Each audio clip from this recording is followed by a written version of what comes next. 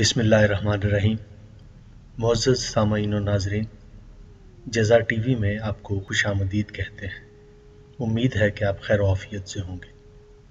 ناظرین اکرام، آج کی ویڈیو میں ہم آپ کو بتائیں گے کہ وہ کون ہے جو اندھیرے میں دیکھ سکتا ہے۔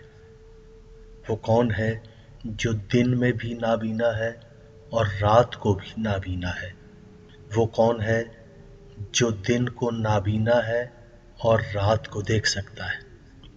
ایک مرتبہ ابن کوا نے امیر المومنین علی علیہ السلام سے عرض کیا کیا امیر المومنین؟ یہ بتائیے کہ وہ کون ہے جو دن کو بھی بینا ہے اور رات کو بھی بینا ہے؟ اور وہ کون ہے جو دن کو بھی نابینا ہے اور رات کے وقت بھی نابینا ہے؟ اور یا علی یہ بتائیں کہ وہ کون ہے جو دن میں نابینا ہے اور رات کو بینا ہے؟ امیر المومنین علی علیہ السلام نے فرمایا، افسوس ہے، تمہیں وہ سوال کرنے چاہیے جو تمہارے لیے فائدہ مند ہوں۔ ایسے سوال مت کرو جن سے تمہیں کوئی فائدہ حاصل نہ ہو سکے۔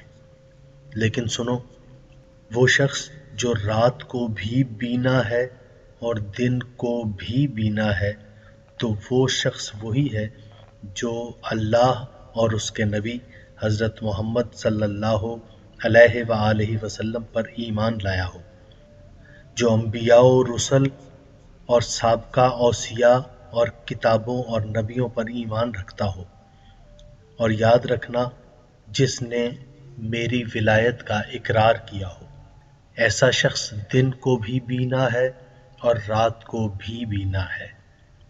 اور سنو، وہ شخص جو رات کو بھی نابینا ہے اور دن کو بھی نابینا ہے۔ یہ وہ شخص ہے جس نے انبیاء اوسیاء کا انکار کیا ہو۔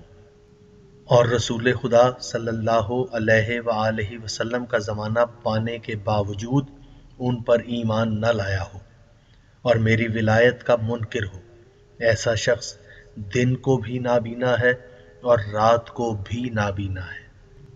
اور وہ شخص جو رات کو نابینا ہے اور دن کو بینا ہے، یہ وہی شخص ہے جو سابقہ انبیاء پر ایمان نہ لایا ہو۔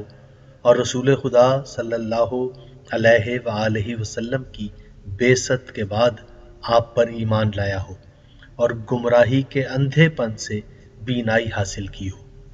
ایسا شخص رات کا نابینا اور دن کا بینا ہے۔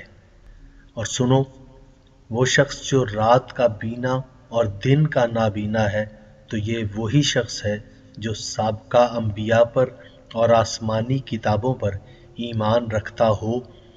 لیکن رسول خدا صلی اللہ علیہ وآلہ وسلم کی بیست کا زمانہ پانے کے باوجود ایمان نہ لایا ہو۔ ایسا شخص رات کا بینا اور دن کا نابینا ہے۔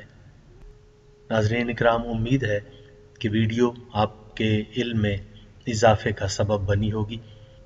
ویڈیو اچھی لگے تو اسے شیئر ضرور کیجیے گا۔ اپنا بہت خیال رکھیے گا۔ اللہ نگہبان۔